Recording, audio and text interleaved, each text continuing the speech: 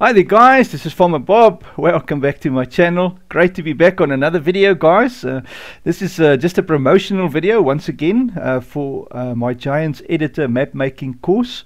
Um, this is a video for episode number 14 where we are currently at, just showing you what we are busy doing and if you're interested just jump on my Patreon and join us for all the fun. If you're interested in map making, I'm doing a whole um, map making course from start right through to finish together with you. Every week we do a, a, video and then we do some homework and that way we complete the map all together.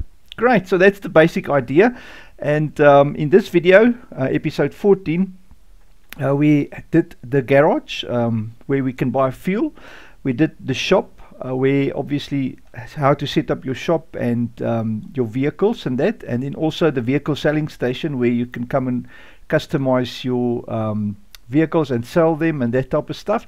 So that tree is here by um, the sell point that we've set up last week. Um, the train, um, what do you call it, the railway silo is the right word I'm looking for. And then lastly, on this video or this episode, we done the shop, um, the vehicle selling station on the farm, which is called a workshop, which is actually the same trigger being used, just in a different um, setup, you know.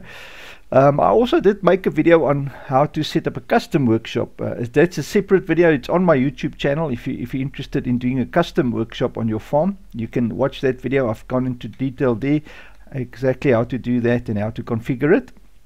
But this one is just a normal workshop from uh, from one of the um, lizard, uh, uh, one of the vendors in in Giants Editor, so or in the Giants game. So yeah, that's a, a standard, straightforward workshop for the farm that we've set up there.